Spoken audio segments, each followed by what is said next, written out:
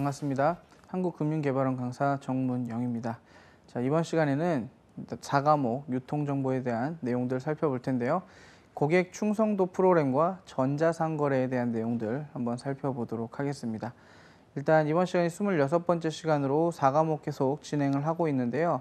4과목 내용 같은 경우는 유통관리사 시험에서 이제 2과목과 4과목은 각각 20문제씩 출제가 되고 1과목과 3과목은 25문제씩 출제가 됩니다. 그만큼 5문제가 좀 적고 중요한 개념에 대한 내용들 그리고 실제 개념에 대한 정의를 잘 알고 있다면 충분히 문제를 풀 수 있는 내용들로 출제가 되기 때문에 제가 지난 시간에도 설명을 드렸듯이 유통 정보에 대한 내용들은 사실상 여러분들이 눈에 보이는 것이 아니고 개념적으로 존재하기 때문에 머릿속에서 이해하기가 그리고 그 개념을 정확하게 암기하기가 상당히 좀 어려운 부분이 있습니다. 그래도 계속 키워드를 위주로 제가 설명을 드리고 진행을 할 테니까요. 이번 시간에도 해당 내용들을 잘 확인하시고 또한 내용을 이해하실 때 전체 내용에서 연계되는 부분들도 상당히 많이 있습니다. 뭐 대표적으로 지난 시간에 CRM과 data mining 이런 것들이 연결이 되어서 어떻게 구성이 되고 어떻게 활용을 하는지도 간략하게 설명을 드렸었는데요. 이번 시간에도 고객 충성도 프로그램과 이런 것들이 마케팅에 어떻게 연관이 되고 또한 전자상거래 내용이 앞서 배웠던 데이터에 관련된 내용들과 어떻게 연계가 되는지도 함께 생각하시면서 보시면 조금 더 이해가 잘 되시리라 생각이 듭니다. 자, 그럼 처음에 내용부터 한번 진행해 보도록 하겠습니다. 첫 번째로 이제 고객 충성도 프로그램이라는 게 있습니다. 그래서 고객들이 실제로 회사에 대한 충성도가 강하게 되면 물건의 제, 물건의 질, 그러니까 제품의 질이라든가 제품의 가격 그리고 제품에 대한 이미지를 크게 고려하지 않고 브랜드에 대한 충성도를 가지고 상품을 구매하는 경우가 있습니다.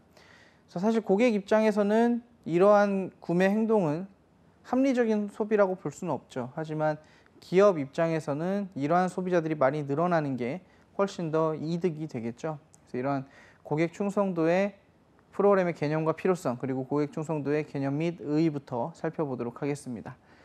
자, 첫 번째 단락 보시면 기업이 지속적으로 고객에게 탁월한 가치를 제공해 줌으로써 그 고객으로 하여금 해당 기업이나 브랜드의 호감이나 충성심을 갖게 함으로써 지속적인 구매 활동이 유지되도록 하는 것 이것을 고객 충성도라고 이야기합니다. 그래서 고객 로열티라고도 이제 문제에서는 언급을 하는데 실제로 고객들이 탁월한 가치를 제공받아서 기업이 주는 탁월한 가치를 제공받아서 혹은 그 가치가 주는 브랜드에 대한 이미지, 상품에 대한 이미지 때문에 상표에 대한 충성도 그리고 브랜드에 대한 충성도가 많이 생겨나게 됩니다. 그래서 기업은 이것을 계속 유지하고 계속 더 많이 만들어내기 위해서 노력을 하죠.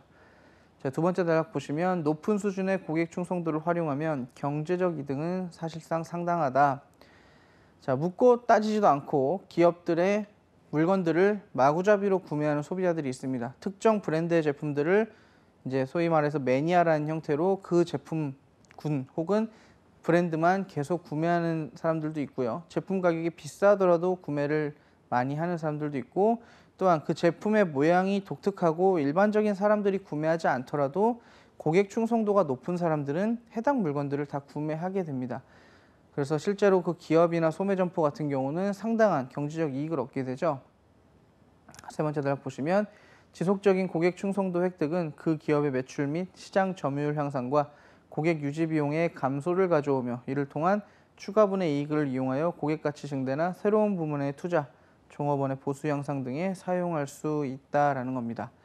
자, 실제로 고객의 충성도가 높으면 그리고 충성도가 높은 사람들을 많이 만들면 당연히 매장이나 해당 브랜드를 많이 사용을 할 거고요. 이렇게 되면 경제적 이득이 증가되고 이 경제적 이득을 기반으로 다른 사업까지도 또 다각화시킬 수 있는 이런 역량이 생겨날 수도 있겠죠. 그리고 실제로 이제 고객 충성도가 높아지면 고객들을 우리가 유지하기 위한 전략, CRM이었죠. 고객 관계 관리 전략을 계속 하지 않아도 자연스럽게 고객들이 계속해서 우리 브랜드를 찾아옵니다.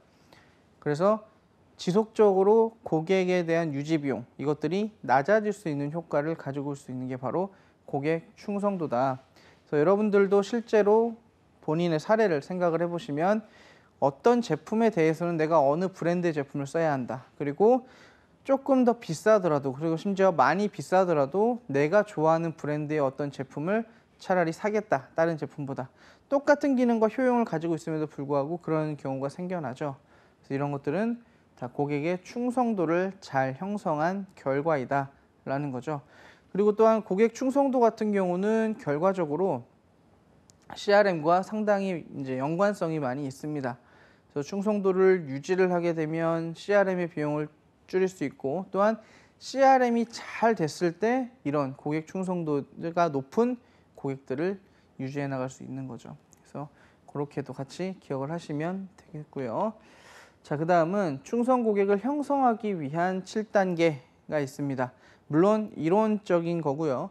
실제로 뭐 이런 단계별로 이걸 이제 맞춰서 무슨 충성 고객을 만들거나 하진 않겠죠. 하지만 이론적으로 존재하는 내용이라는 거 기억을 하시고 이렇게 흘러가는구나 정도로 좀 봐두시면 좋을 것 같아요.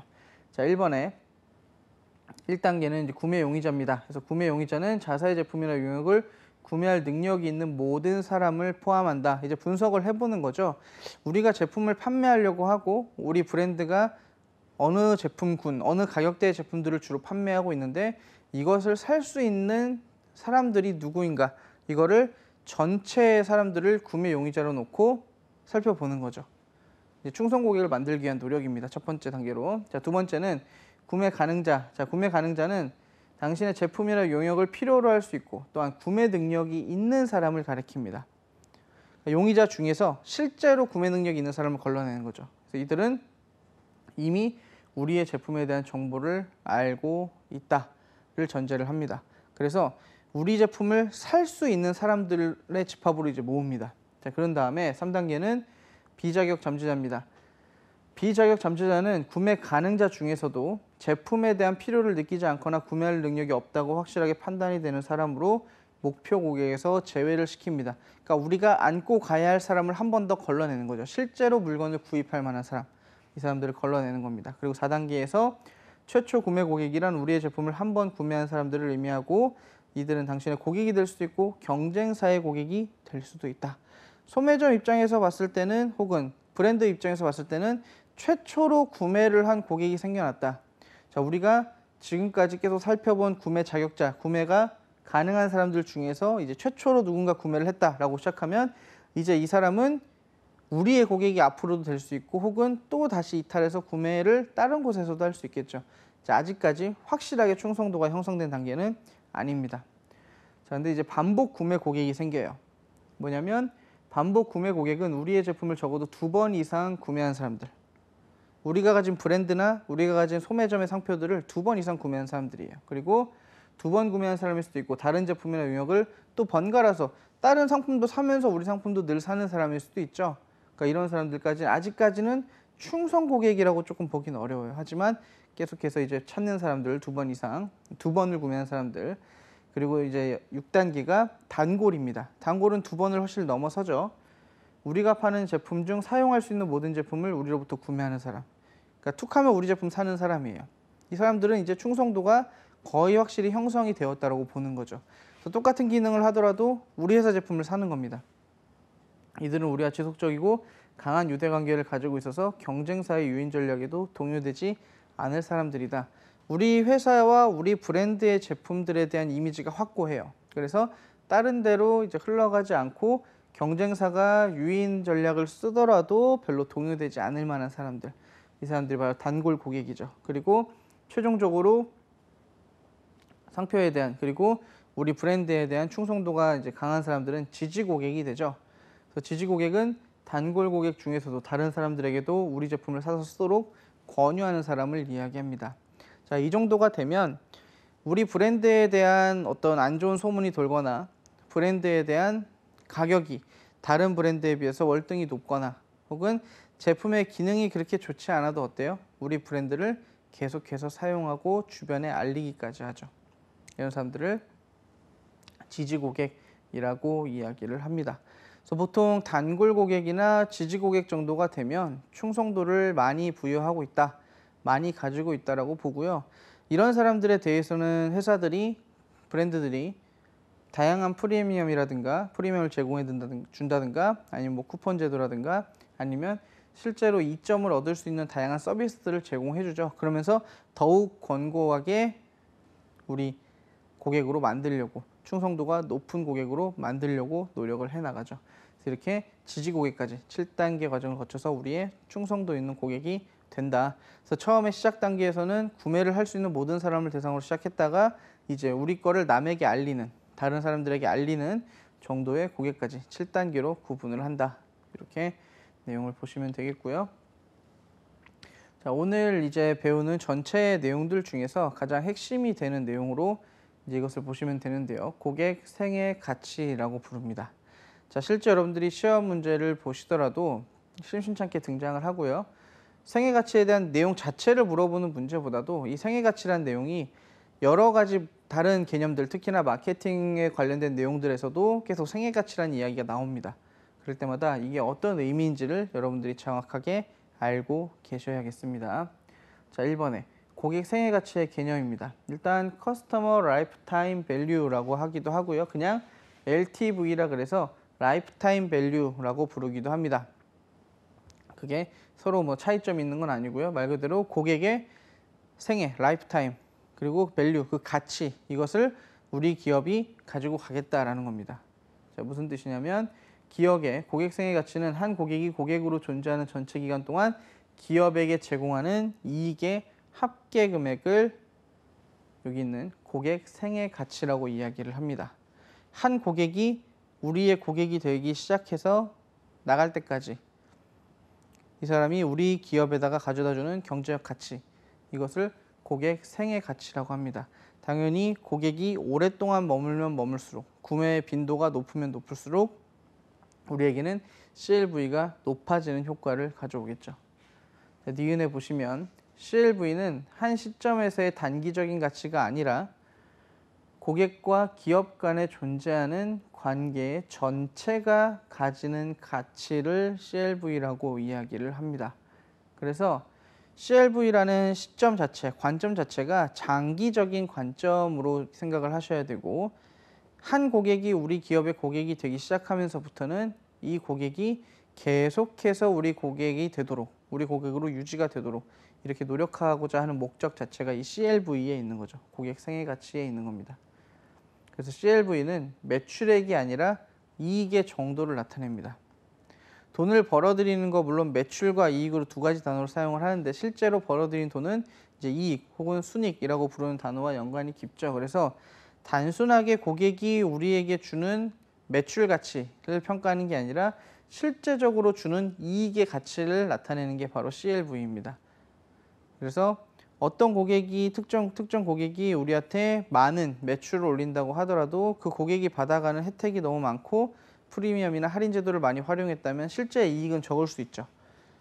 근데 순수하게 우리 제품을 그냥 구매해 주는 고객들 같은 경우는 가격을 비싸게 사진 않았지만 비싼 상품을 사진 않았지만 다른 비싼 상품을 사고 할인을 받고 혜택을 받은 사람들보다도 더 이익은 높이 주겠죠 우리한테 그래서 이런 고객들을 늘려가는 거 이게 바로 CLV죠 그리고 CLV를 산출함으로써 기업은 어떤 고객이 기업에게 이로운 고객인가를 판단할 수 있으며 그 고객과 앞으로 어떤 관계를 가지도록 하는 것이 합리적인가를 파악할 수 있다. 그러니까 우리가 CLV를 딱 보면 아 이러한 고객들과는 계속해서 CLV 고객 생애 가치를 유지해 나가야겠고 고객 관계 관리를 해야겠고 이제 이런 고객들은 버릴 때가 됐구나. 이제 신경을 많이 안 써도 되겠구나. 이런 것들을 알 수가 있는 거죠. 실제로 여러분들이 물건을 구입을 하고 이랬을 때도 처음에 구입을 하고 마음에 들고 두 번, 세 번 구매를 하다 보면 특정한 브랜드 제품이 익숙해지는 경험을 하신 적이 있을 겁니다. 그게 고객 충성도가 생기는 동시에 그 고객이 그 기업 입장에서는 어떻게 되는 거예요? 여러분들의 CLV 고객 생애 가치를 계속해서 획득해 나가고 있는 거죠. 그러기 위해서 다양한 제품들을 활용하도록 하고 사용하도록 하고 또 하나를 구입하면 다음 상품을 살 때 또 할인을 해주고 이런 식으로 계속해서 우리 고객이 되도록 이렇게 노력을 하는 게 바로 CLV다 이렇게 되는 거죠. 그 다음에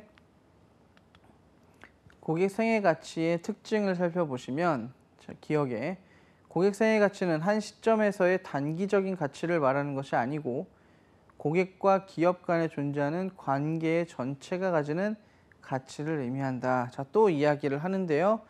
고객 생애 가치는 CRM의 개념이다. 고객 관계 관리와 유사한 개념이다. 그래서 고객 관계 관리를 하는 것 자체가 이 CLV를 가져가기 위함이다. 그러니까 CRM을 하는 이유가 CLV를 가져가기 위함이다 라고 하는데 여기서 단기적인 가치를 얘기하는 게 아니라 고객과 기업의 가치는 굉장히 장기적인 그리고 이 사람의 lifetime 생애 가치를 전부 다 우리 기업이 획득을 해내겠다라고 하는 그런 관점에서 이제 가치를 좀 생각을 하셔야 되고요. 니은에 보시면 고객 생애 가치는 고객들의 이탈률이 낮을수록 공의 생애 고객 생애 가치는 증가한다. 고객들이 많이 안 나가면 안 나갈수록 당연히 고객의 생애 가치는 올라가겠죠. 반대로 고객들이 이탈을 많이 하면 많이 할수록 고객 생애 가치는 낮아집니다. 이것도 관계적으로 기억을 해 놓으시고요. 보통 문제들에서 이제 말장난하는 문제로 이런 것들이 보기에 들어가 있는 경우가 있죠. 자, 디귿에 보시면 고객 생애 가치는 매출액을 말하는 것이 아니라 이익을 말하는 것이다. 요거 이제 기억을 해 두셔야겠죠. 고객 생애 가치는 순수하게 남는 우리에게 남는 이익을 어떻게 가져다 주느냐를 평가해서 선별적으로 할 수도 있겠죠. 리을에 고객 생애 가치를 산출함에 있어서 기업은 어떤 고객이 기업에게 이롭고 유리한 고객인가를 파악할 수 있다. 고객 생애 가치를 판단을 해보면 실제 우리에게 이만큼의 금액을 가져다 주는 사람이고 이만큼의 그 금액을 가져다 주는 사람이고 이거를 충분히 비교할 수가 있죠. 그리고 그 고객과 앞으로 어떤 관계를 가지도록 하는 것이 합리적인가를 역시 판단할 수 있습니다. 미음에 우량 고객의 효과적 관리를 위해서는 이들이 느끼는 가치에 따라 보상 프로그램을 차별적으로 실시하는 것이 바람직하다. 우리 기업에 상당히 많은 가치를 가져다 주는 고객에 대해서는 조금 더 좋은 프로그램을 진행하고 조금 더 나은 서비스를 제공해 주는 거. 그러면 고객 생애 가치를 더 많이 우리 브랜드에 가져다 주겠죠. 우리 회사에, 우리 소매점에. 당연히 경제적으로 굉장히 큰 이득이 있을 수 있겠다라고 볼 수 있습니다. 그래서 고객 생애 가치 같은 경우는 크게 어려운 개념은 아니죠. 말 그대로 한 고객이 우리 기업에 들어와서 머무르는 생애 동안, 머무르는 그 일생 동안 우리에게 이익이 되는 이러한 작업을 진행하는 것 그리고 그 가치를 우리가 가져가겠다라고 하는 것이 바로 고객 생애 가치죠. 기억을 잘 하시고요. 고객 생애 가치는 장기적인 관점인 거. 그리고 이제 CRM을 통해서 고객을 잘 유지하면 고객 관계 관리를 통해서 고객을 잘 유지하면 CLV의 비용은 적게 들 수 있다라는 거. 그리고 CLV를 했을 때 매출의 이익은 높아질 수 있다라는 거. 이렇게 기억을 해 놓으시면 되겠습니다.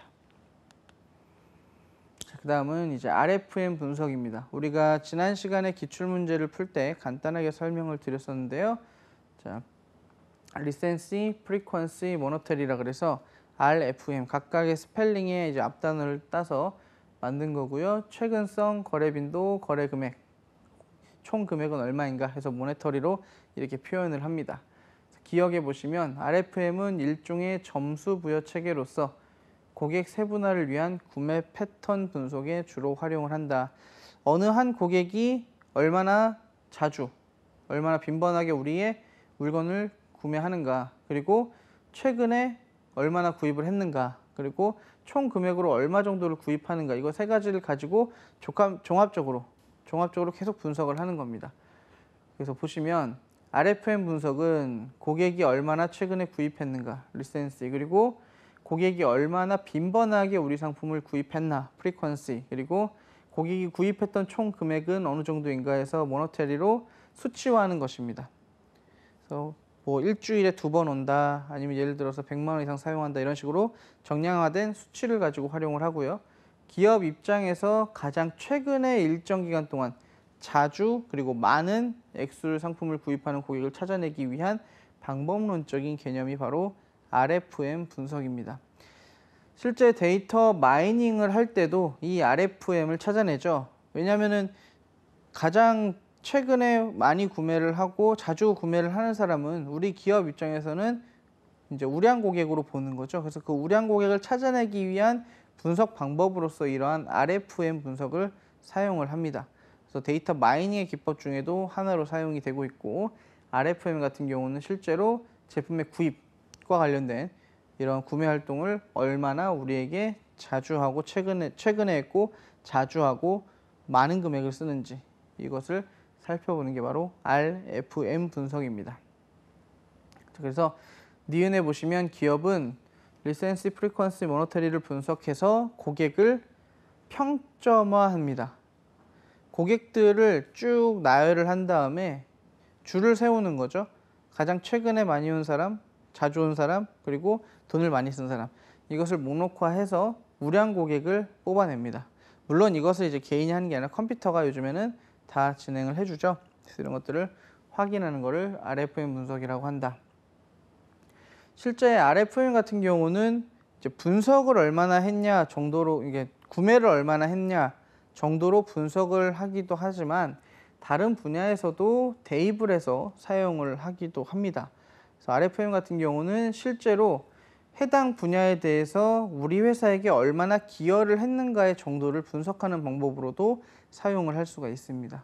대신 수치화해서 표현을 한다는 거 RFM은 그리고 실제 RFM을 가지고 데이터 마이닝을 하는 작업을 할 때도 활용을 한다라는 거.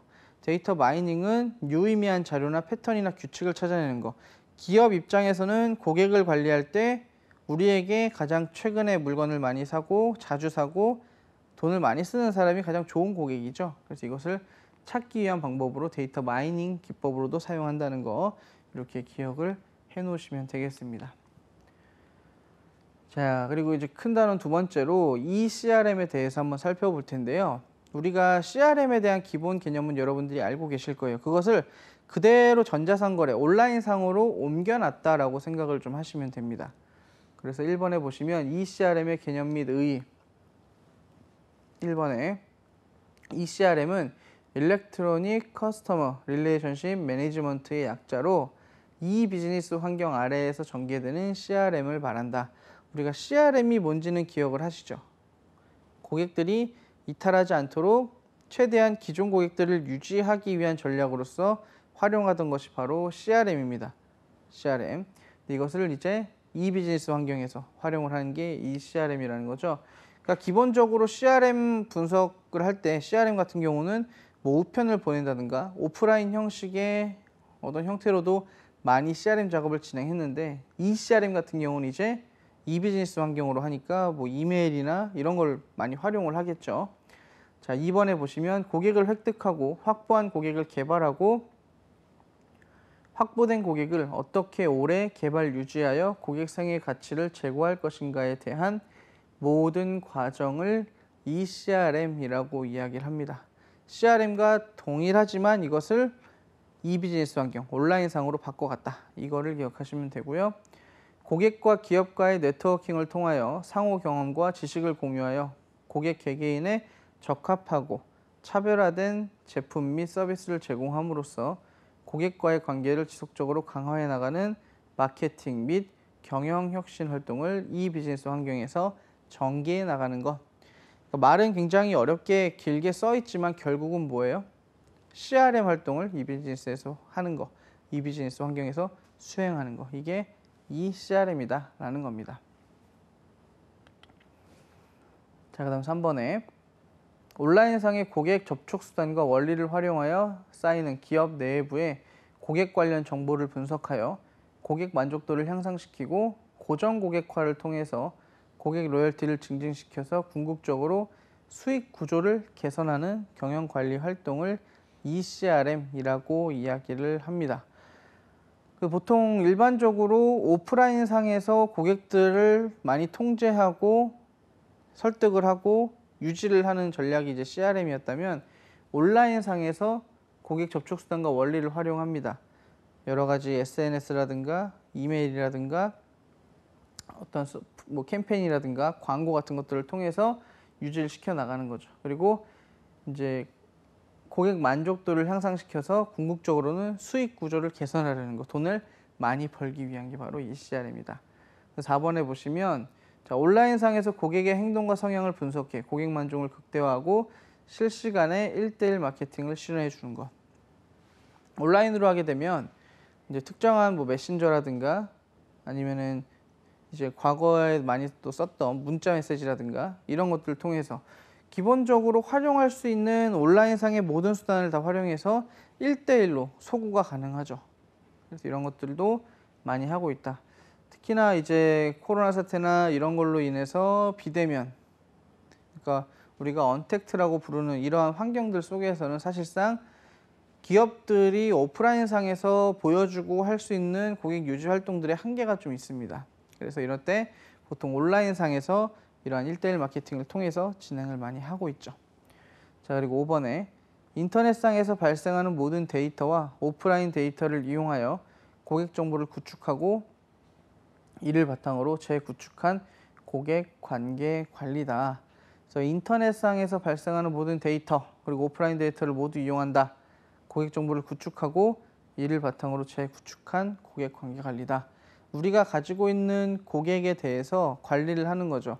그래서 이 CRM 같은 경우도 동일합니다. 신규 고객을 많이 유치하는 것은 사실상 비용 면에서 효과가 그렇게 많지 않다, 효율성이 높지 않다라고 보는 거죠. 그래서 기존 고객에 조금 더 집중을 해서 우리가 최대한 그 안에서 CLV를 가져가 보자 라고 하고 있는 겁니다.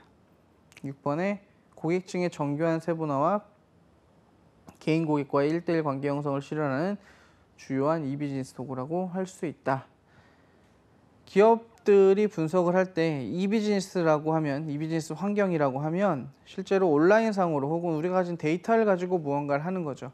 이때는 조금 더 고객층에 대한 정교한 세분화 우리가 고객에 대한 정보는 알고 있으니까요. 고객에 대한 정보에 대한 세분화를 해서 1대1로 온라인을 통해서 할 수 있는 작업 이게 바로 이 비즈니스 도구인 이 CRM이다 이렇게 이야기를 하고 있습니다.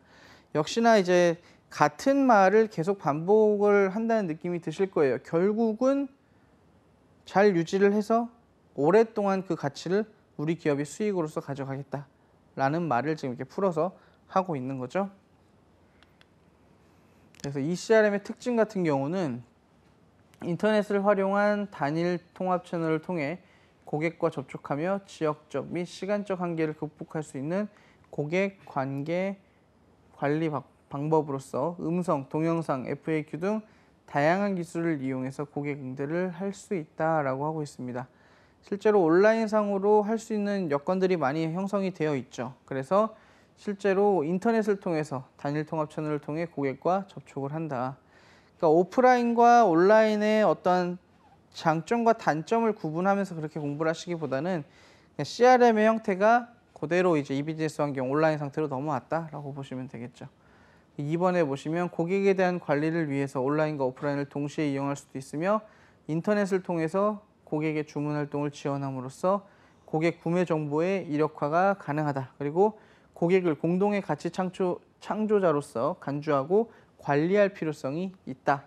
그러니까 고객 같은 경우는 우리가 단순하게 돈을 벌 수 있는 대상으로만 보는 것이 아니라 실제로 같이 함께 가치를 창조해 나가는 주체로서 바라볼 필요가 있다라고 설명을 해주고 있습니다. ECRM 같은 경우도 시험에서 ECRM 자체를 가지고 문제 출제를 거의 되진 않습니다. 근데 ECRM과 이제 CRM을 비교하거나 혹은 CRM 자체에서 ECRM을 그냥 얹어서 설명을 한다든가 이런 식으로 많이 가고 있죠. 근데 이제 ECRM 같은 경우는 최근의 흐름으로 봐서 앞으로도 자주 등장할 여지가 있는 내용으로 보이기 때문에 ECRM을 잘 기억을 하시면 되고 그 기반은 CRM이다라는 거 같이 기억을 해두시고요. 자, CRM과 ECRM을 비교해 보면 CRM은 전화나 팩스, 판매 장소, 체인점 등에서 고객을 접촉합니다. 그런데 ECRM은 이메일, 인터넷, 이동통신, 이 카탈로그 등 이런 걸 통해서 고객을 접촉하죠. 고객들이 들어왔을 때 실제로 대면으로 보는 게 아니라 비대면으로 그리고 어떤 이제 사람이 말을 서로 대화를 하거나 이런 형태들보다는 텍스트나 문자를 통해서 전달하는 체계가 바로 ECRM이죠. 그리고 CRM 같은 경우는 시간과 공간의 범위가 제한된 영업시간과 지역적 한계가 존재하죠. 고객관계 관리를 할 때 CRM은 오프라인 상에서만 진행을 하기 때문에 내 지역적 범위가 뻔합니다. 한계적으로 정해져 있는데 이 CRM은 24시간 그리고 전 세계를 대상으로도 충분히 할 수 있습니다. 온라인 환경만 구축이 돼 있으면 할 수 있는 거죠. 세 번째가 분석 이슈인데요. CRM은 통계 기법이나 data mining 그리고 OLAP을 통해서 거의 살펴봅니다.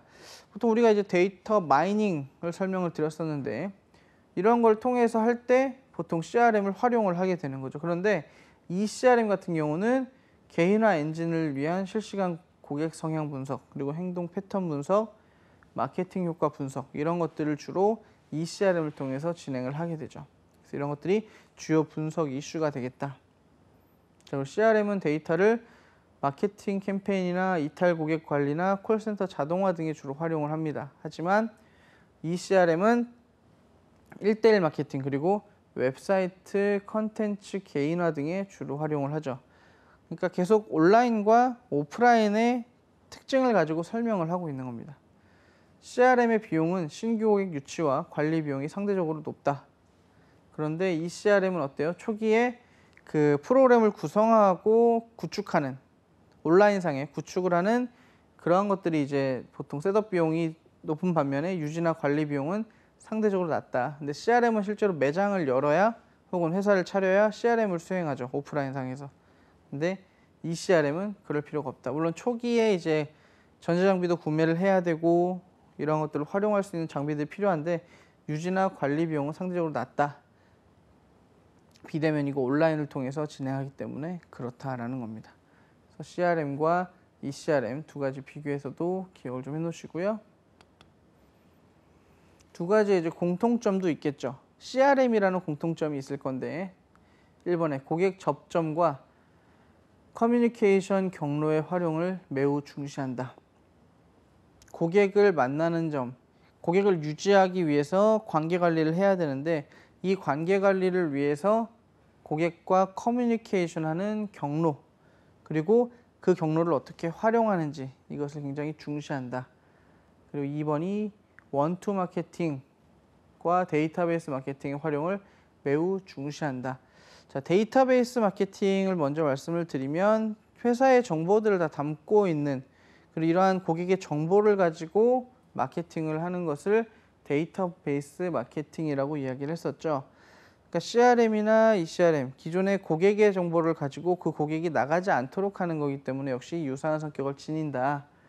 그리고 1대1 마케팅 ECRM이든 CRM이든 한 명 한 명 소구를 해서 우리 회사에서 나가지 않도록 그리고 이미 CRM을 한다는 것은 우리의 기존 고객이기 때문에 어느 정도 안면이 있다라고 보는 거죠. 서로에 대한 정보를 알고 있다는 얘기입니다. 그래서 이렇게 1대1 마케팅을 수행하기도 한다.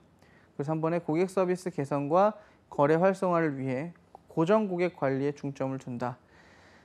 그냥 한 번 왔다가 가는 고객들에 대한 집중보다 우리 고객 중에서도 매장을 자주 찾아오거나 혹은 우리 회사의 제품을 자주 이용하거나 이런 사람들에 대한 정보를 조금 더 중점을 두고 확인을 해야겠다. 4번에 로열티 고객 확보와 고객 생애 가치 증대에 전략적 우선 목표를 둔다. 그래서 로열티 확보, 고객의 충성도를 확보하는 것, 그리고 고객 생애 가치, 기, 기업이 고객을 오랫동안 품고 있으면서 계속해서 생애 가치를 끄집어내겠다라는 이러한 것을 실시간으로 끌어내기 위해서 노력을 한다는 거죠. 실제로 고객들은 자신이 받은 어떤 회사의 대우, 서비스라든가 아니면은 그 회사를 통해서 내가 좋은 물건을 구매하고 있다는 인상 그리고 다른 곳보다 조금 더 꼼꼼하게 챙겨주는 세심함 이런 것들이 실제로 차별적인 서비스를 가지고 실시간으로 제공을 해주면서 고객들이 오랫동안 머물 수 있는 전략 중에 하나가 되겠죠. 자, 그리고 6번에 data mining 등 고객 행동 분석의 전사적 활용을 추구한다. 회사가 어떠한 것을 실행할 때는 실행할 때는 부서별로 실행을 하는 경우도 있어요. 하지만 실제로 data mining을 한번 하면 data warehouse라는 게 이미 있었겠죠. 이 data warehouse와 data mining은 회사에서 보통 전체 전사적으로 활용을 하고 있죠. 역시 CRM과 ECRM도 그렇게 진행을 한다. 그 7번에 오프라인 경로 중심인 기업이나 조직의 경우 온라인 경로까지 확대하려는 움직임을 보인다. 이게 바로 ECRM이죠. 오프라인 상태에서 고객을 관리하는 거 그리고 온라인 상태에서 고객을 관리하는 거 둘 다 하는 거 이렇게 하고 있죠. 그리고 8번에 모든 유통 경로를 통합 관리하고 의사결정을 하기 위한 고객 정보의 통합으로 CRM 솔루션을 구축하고자 한다. 실제로 CRM이 잘 되면 안정적으로 회사가 돈을 벌 수 있고요. 그리고 실제로도 고객 정보의 통합이 되어 있다면 의사결정을 할 때도 상당히 많은 도움을 받겠죠. 그래서 이러한 장점과 공통점을 함께 지닌다. 이게 바로 ECRM과 CRM의 공통점이다. 이렇게 보시면 됩니다. 자, 그 다음 이제 세 번째가 전자상거래입니다. 전자상거래는 electronic commerce라고 해서 EC라고 부르고요. 이 전자상거래의 개념 및 의의 먼저 한번 살펴보도록 하겠습니다. 1번에 전자상거래는 1993년 웹 기술의 출현으로 인터넷을 이용하거나 이용한 정보나 지식의 검색이 매우 편리해지면서 기업 내에서 또는 기업 간의 문서들보다 효과적으로 전달할 수 있게 되면서 현재 상용화돼서 확산하고 있는 기술 중에 하나다. 실제 여러분들은 이제 인터넷을 다들 편하게 쓰고 계시죠. 그죠? 이러한 인터넷을 통해서 물건을 구입하거나 물건을 판매하거나 설득을 하거나 고객들과의 관계를 쌓아가는 거 이게 바로 전자 상거래다라고 하고 있습니다. 2번에 보시면 기업과 기업 간 또는 기업과 개인 간, 정부와 개인 그리고 기업과 정부, 기업 자체와 내 그리고 개인 상호 간의 다양한 전자매체를 이용하여 상품이나 용역을 교환하는 방식을 전자상거래라고 이야기합니다. 그래서 실제로 사람이 거래를 하다 보면 우리 회사가 다른 회사랑 거래를 하는 일도 생기고요. 그리고 우리 회사가 정부와 거래를 하는 경우도 생기고요. 또 우리 회사가 어떤 특정한 개인과 거래를 하는 경우도 생깁니다. 그래서 이런 유형에 따라서 온라인 매체, 전자매체를 이용해서 상품이나 용역을 교환하는 방식들을 전부 다 전자 상거래라고 이야기를 합니다. 그리고 전자 상거래는 조직과 개인 간 또는 조직과 조직 간의 상품의 유통 관련 정보의 배포, 수집, 협상, 주문, 납품, 대금 지불 및 자금 이체 등 상호 간 상거래상의 절차를 전자화된 정보로 전달하는 온라인 상거래를 바로 전자상거래다 이렇게 이야기를 합니다. 그래서 전자상거래 같은 경우는 실제로 뭐 모바일을 활용하든지 최근 이제 컴퓨터를 활용하든지 상관없이 거의 대부분 물건을 구할 수 있죠. 심지어 물론 우리나라에 없는 것들은 해외에서까지 주문을 해서 물건을 받을 수 있도록 그렇게 돼 있죠. 그래서 전자상거래 같은 경우는 그 발달이 상당히 빨라지고 있고 그리고 반드시 온라인 간의 거래만을 의미한다는 거 이렇게 기억을 해두시면 되겠습니다. 그래서 전자상거래 같은 경우는 보통 진행을 하면서 회사가 서버를 구축하거나 아니면은 특정한 사이트를 제작한다든가 아니면 온라인상의 카탈로그를 제작한다든가 이런 식으로 초기에 이제 좀 드는 비용들은 있는 편이지만 역시 하지만 한번 구축해 놓으면 상당히 좋은 이제 편리한 이런 거래 방식이다. 이게 바로 전자상거래다. 역시 이제 최근에 진행 중인 이제 코로나 사태 같은 경우도 어때요? 전자상거래 같은 거를 하면 조금 더 안전하게 물건을 받을 수 있겠죠. 여러분들이 직접 가서 물건을 구매하는 것이 아니라 그런데 또 전자상거래를 하면 항상 이제 많은 분야 연계돼서 부, 이제 나오는 분야들이 많이 있지만 가장 주요하게 부각되는 부분이 거의 물류 분야입니다. 전자상거래가 발달을 하고 고객들의 개성이 다양해지고 다양한 물건들을 배송하면서 실제로 전자상거래와 물류의 연관성이 상당히 크다라는 것도 여러분들이 같이 기억을 좀 해놓고 진행하시면 좋을 것 같아요. 그래서 전자상거래의 특징 같은 경우는 첫 번째가 개방성입니다. 모든 구매자는 원하는 정보에 자유로이 접속이 가능합니다.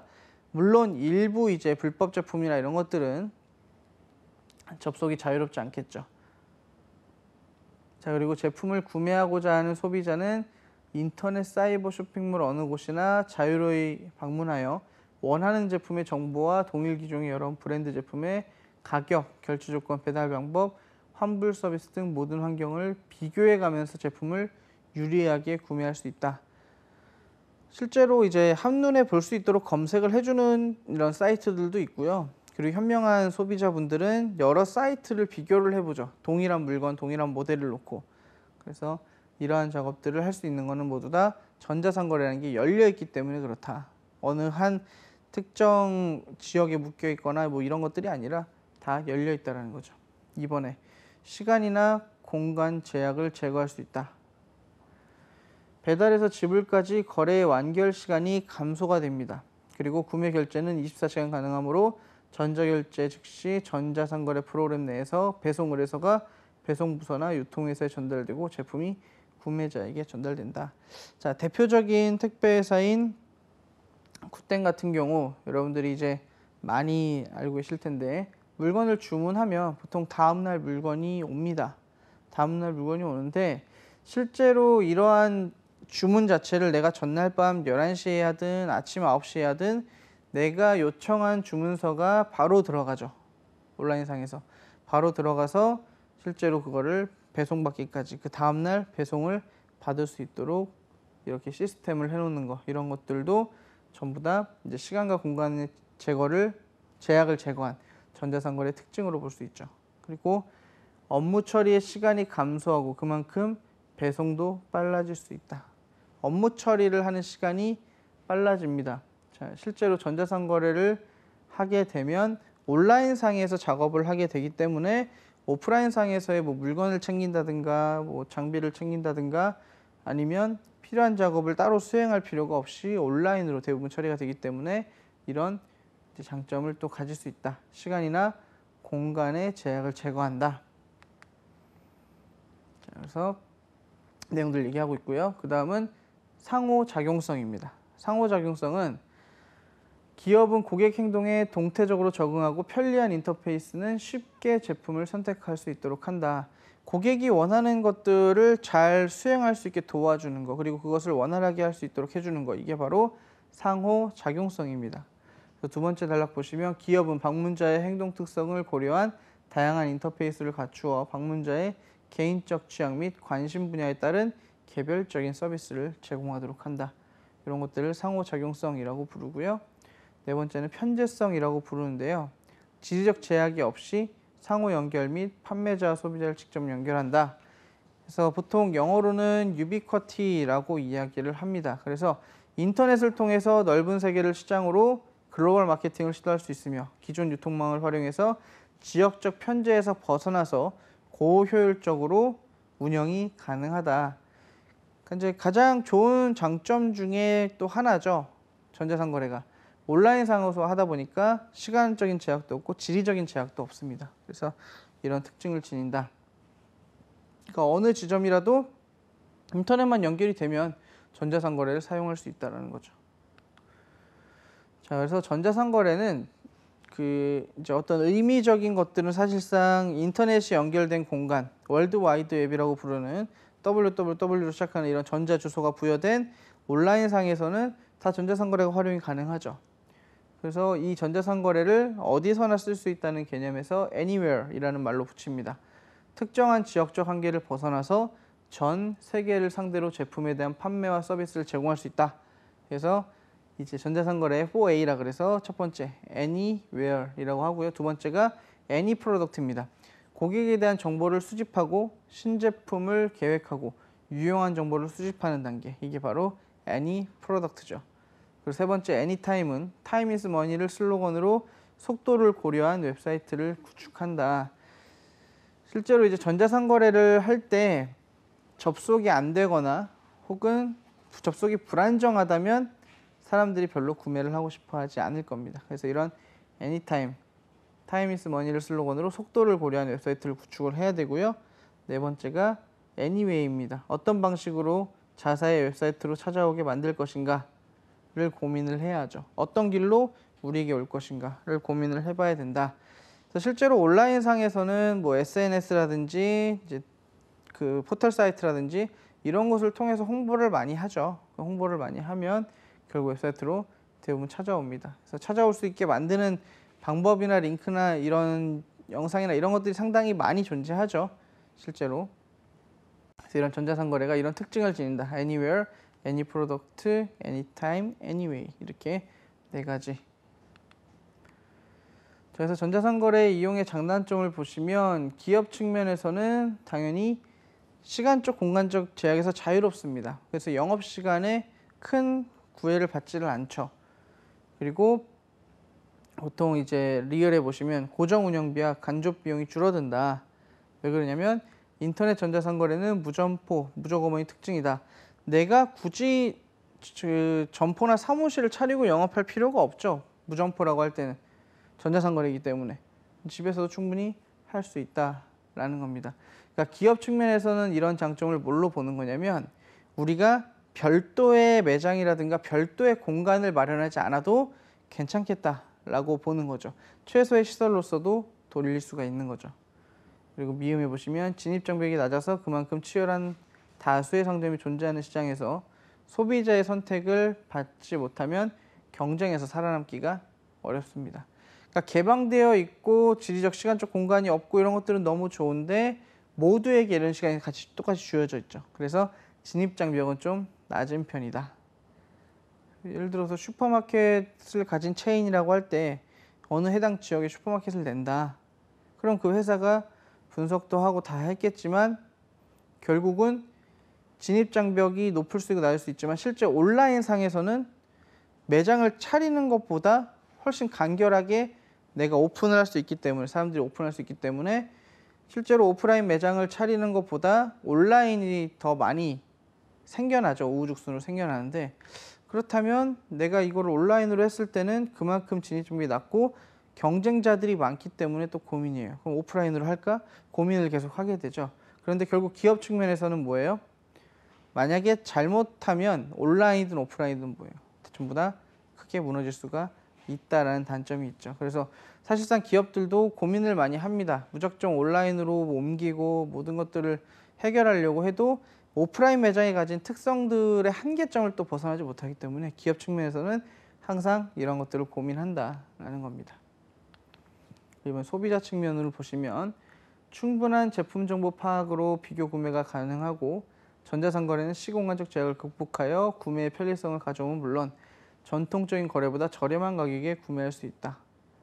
실제로 온라인상에서 물건을 구입하는 게 상당히 저렴하죠. 그런 이유들이 대표적인 게 매장에 대한 오프라인 비용들, 관리 비용들, 점원의 종업원 비용들 이런 것들이 다 안 나가죠.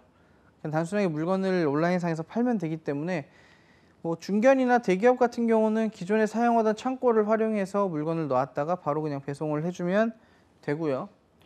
그리고 일반적으로 전통적인 거래 매장을 놓고 하는 것들보다 그런 비용을 매장이 없고 온라인성으로만 하면 아낄 수 있기 때문에 충분히 가격을 저렴하게 할 수 있다. 그 디귿의 추가 정보의 입수가 용이하고 리얼의 소비자는 실질적이고 많은 구매 정보를 활용할 수 있어서 시장에서 갖는 지위가 향상되며 이는 소비자의 선택권과 구매력도 증가시키는 효과가 있다. 그래서 소비자 측면에서도 이런 특징들을 가지고 있다라는 겁니다. 그래서 전자상거래 크게 어렵진 않고요. 기업과 소비자 측면에서 비교하실 수 있으면 되겠습니다. 그래서 전자상거래 또 이제 유형들이 있는데요. 전자상거래는 거래 주체에 따라서 크게 구분을 합니다. 그래서 B2C, B2B, B2G, 이게 C2C 이렇게 구분을 하는데 기업과 소비자, 비즈니스와 이제 여기서 customer라고 구분을 하는데요. B2C, 기업과 소비자가 거래를 하면 B2C고요. 기업과 기업, business to business는 B2B. 고 가끔 정부의 어떤 조달에 의해서 정부와 기업이 거래를 하는 경우가 있죠. 이런 경우는 B2G, Business to Government라고 하고요. C2C는 소비자와 소비자, 소비자가 어떤 단체를 만들어서 다른 어떤 소비자 단체와 서로 이제 거래를 한다. 이러면은 소비자와 소비자 C2C가 되겠죠. Customer to Customer입니다. 시험 문제에서도 설명을 아마 드릴 거지만 거래 주체에 따라서 분류를 할 때는 그 주체가 누구인지를 정확하게 좀 판단을 하셔야 돼요. 소비자가 만든 소비 조합은 소비자일까요? 소비 조합일까요? 결국은 소비자들로 형성된 걸로 생각을 하셔야 돼요. 그래서 소비 조합을 하나의 회사로 보고 비즈니스를 보고 하시면 안 되고 소비자로 봐야 된다는 거. 이런 내용들에 대한 문제들도 출제가 간혹 됩니다. 그래서 보통 B2B하고 B2C를 많이 이야기를 하기 때문에 B2B하고 B2C를 비교를 해봤는데요. B2B는 기업과 기업 간의 주로 거래죠. 그래서 원자재나 생산업체, 제조업체, 물류센터, 소매업체, 일반 업체들에서 보통 거래를 당연히 하고요. B2C는 고객과 소매업체가 거래를 한다. 자, 그리고 B2B는 보통 적용 범위가 기업과 업종 및 산업군이고 B2C는 시장이죠. 회사와 일반 소비자 간의 거래니까 우리가 지금 겪고 있는 다양한 거래들이 거의 다 대부분 B2C죠. 자, 그리고 B2B 같은 경우는 핵심 기술이 정보의 공유, 그리고 시스템 간 연계, 통합 기술 이런 것들이 중요한데 B2C는 인터넷 기반의 응용 기술이 많이 필요하다라고 이야기를 하고 있습니다. B2B와 B2C. 그래서 뭐 시험에서 뭐 이 구체적인 내용까지 상세하게 들여다보진 않지만요. 이런 특징들이 있다는 거 비교해서 기억을 해놓으시면 되겠습니다. 자, 기출 문제들을 보면 이건 이제 설명을 드리기 위해서 조금 제가 가지고 왔는데 최근 유통업계에서는 모바일 쿠폰을 매장에서 사용하거나 앱을 통해 음식을 배달하는 등의 변화가 일어나고 있다. 이와 같이 온라인과 오프라인을 유기적으로 결합해서 새로운 가치를 창출해내는 서비스를 나타내는 용어로 옳은 것은 무엇인가? 자, 온라인과 오프라인이 만났대요. 일단 정답은 O2O, 3번 O2O가 되겠는데요. O2O 서비스라고도 부르고요. 온라인상으로 오프라인에 있는 매장을 이용할 수 있도록 연계를 시킨 거죠. 그 어플을 통해서. 지금 현재 여러분들이 사용하는 배달 어플들 같은 경우도 전부 다 O2O 서비스의 일종입니다. 온라인과 오프라인 두 가지를 연결한 서비스. 이게 바로 O2O 서비스죠. 그래서 이 문제 같은 경우는 O2O 서비스를 제가 일부러 언급을 하기 위해서 들고 왔고요. 자, 그 다음은 B2C 전자상거래의 성공 요인으로 가장 옳지 않은 것은 자, 답을 한번 확인해 볼게요. 5번에 신속한 과잉 사업 확정을 위해 재무적인 측면에서 비용 대비 수익 비율은 최소화시켜야 한다. 자, 일단 비용 대비 수익은 어때야 돼요? 최대한 높아야 좋은 거죠. 그래서 5번이 틀렸는데요. 자, 2번 한번 보시면 주문된 제품 혹은 서비스를 신속하게 고객에게 전달할 수 있는 효율적인 배송 프로세스를 갖춰야 한다. 전자상거래가 생겨나면서 물류에 대한 강조가 계속 생겨납니다. 그래서 이러한 배송 체계를 갖춰야 한다는 거. 4번에 보시면 보안 위협으로부터 거래 데이터를 보호하기 위한 암호화 및 인증 기술이 적용된 지불 시스템을 갖춰야 한다. 자, 이 부분도 많이 이야기를 하고 있는 거죠. 단순하게 이제 거래를 시행하는 게 아니라 이 거래를 누군가가 노리고 있을 수도 있죠. 그래서 이런 거래를 막을 수 있도록 이러한 불합리 현상을 막을 수 있도록 거래를 할 때 기업들 간에 혹은 이제 거래를 한 주체들끼리 암호화를 하거나 인증 기술을 부여해서 이렇게 결제를 하는 게 좋겠다. 이런 것들이 계속 나오고 있습니다. 그래서 B2B, B2C든 전자상거래에 대한 이야기가 나올 때는 일단은 전자상거래라는 것도 수익을 얻기 위해서 하는 활동이다. 그리고 수익을 얻기 위해서 하는데 이러한 배송 프로세스도 잘 갖추어야 되고 지불 시스템 같은 경우, 전자결제 시스템 같은 것도 잘 갖추면 전자상거래가 조금 더 성장할 때 도움이 되겠다라고 기억을 해놓으시면 되겠고요. 자, 그 다음 문제 보시면 ECRM을 기업에서 성공적으로 도입하기 위해 필요한 발전 전략으로 가장 적합하지 않은 것은 이라고 하고 있습니다. 자, 1번에 다양한 커뮤니케이션 수단을 활용하여 고객 접촉 경로의 다양화가 필요하다. 실제로 ECRM을 기업에서 도입하기 위해서 1번 같은 경우는 필요한 거죠. 근데 2번에 보시면 소비자의 트렌드를 분석하기보다는 소비자의 유행을 따라가는 서비스를 구사하여야 한다. 자, 요걸 이제 좀 잘 생각하셔야 되는데 트렌드라는 말, 트렌드라는 말 그리고 유행이라는 말 사실 거의 유사한 단어죠. 근데 소비자의 유행을 따라가기보다는 유행을 따라가기보다는 트렌드를 분석을 하는 것이 더 좋습니다. 무슨 얘기냐? 유행이라는 것은 비교적 짧은 단위의 그 이제 어떤 현상을 나타내는 거죠. 유행이라는 것은. 근데 이것이 지나가면 결국 어때요? 또 그때부터는 별로 효과가 없겠죠. 판매 전략들이. 그래서 ECRM을 하기 위해서는 장기적으로 좀 볼 수 있는 고객들, 우리 고객들의 트렌드를 분석하는 것이 훨씬 중요합니다. 그래서 10대, 20대, 30대, 40대, 50대, 60대 이런 식으로 나눠 가지고 각각의 트렌드가 어떻고 우리가 판매하는 상품과 연관성이 어떻고 이런 것들을 분석해 보는 것이 좋겠죠. 그래서 2번 같은 경우는 내용이 옳지 않다. 자, 3번에 고객의 입장에서 꼭 필요한 콘텐츠 구성이 필요하다. 고객은 그래야 그 콘텐츠를 찾게 되죠. 자, 4번에 개인의 특성에 맞게 맞춤 서비스로 타사와의 차별화 전략이 필요하다. CRM 같은 경우는 1대1로 소구하는 것을 가장 좋아한다고 말씀을 드렸고요. 5번에 커뮤니티, 오락 등 콘텐츠의 다양화를 통한 활성화 전략이 필요하다. 맞죠? 실제로 고객들이 즐거워하고 즐거운 경험 속에 브랜드의 이미지를 심도록 그리고 기업의 이미지를 심도록 해주는 거 상당히 좋습니다. 84번에 2번은 옳지 않다. 자, 그 다음 문제 71번 2019년 3회차에 나왔던 건데요. 정보화 사회의 역기능에 대한 설명으로 옳지 않은 것은 자, 1번에 역기능이라는 건 일단 부정적인 현상입니다. 부정적 현상. 컴퓨터 범죄 및 사생활 침해 현상이 증가하고 있죠. 정보화 사회가 되면서 2번에 인간과 기계는 엄연히 구분되는 독립적인 실체로서 인식하고 있다. 최근에는 이제 인간과 기계가 물론 이제 형체적으로 독립이 되어 있지만 이런 기능이나 이런 것들은 기계가 인간의 역할들을 거의 다 수행을 하고 있기 때문에 독립적인 실체로서 인식을 하기보다는 거의 유사 체계로 인식을 하고 있습니다. 혹은 동반자의 개념으로 인식을 하고 있죠. 3번에 정보 기술이 발전하지 못한 국가들은 문화적 정체성을 상실할 수 있다. 일단은 정보 기술이 발달하지 못한 국가들 문화적 정체성 무언가를 이제 정보 기술을 통해서 보관하고 저장하고 데이터를 유지를 해 나가야 되는데 이러한 문화적 정체성을 상실할 수 있겠죠. 그렇지 못한다면. 4번에 국가 간의 정보 유통을 획기적으로 확장시킴으로써 국가 경쟁력 강화가 요구되고 있다. 자, 역기능에 대한 설명으로는 4번이 연관성이 없기 때문에 답으로 선택이 됐고요. 답이 두 개가 됐죠. 2019년도에 3회차에. 자, 5번에 사회 전체가 단일 네트워크로 묶이다 보니 이에 따른 사회적 위험 또한 증가하고 있다. 자, 네트워크라는 형태로 이제 온라인 시장이 묶이다 보니까 네트워크라는 형태로 전부 다 데이터들이 묶이고 있습니다. 그러면서 사회적 위험, 해킹을 당하거나 정보가 없어지거나 아니면 내 신원이 밝혀지거나 이런 것들을 위험을 노출시키고 있는 거죠. 현재 정보화 사회 역기능이 이런 것들이 있더라라는 것까지 기억을 하시면 되겠습니다. 오늘 내용들 조금 개념적인 내용들이겠지만 CRM 기존에 했던 내용과 ECRM 비교를 해보시고 전자상거래에 대한 내용들 간단하게 정리하시면 역시 좋은 성과 있으리라 생각이 듭니다.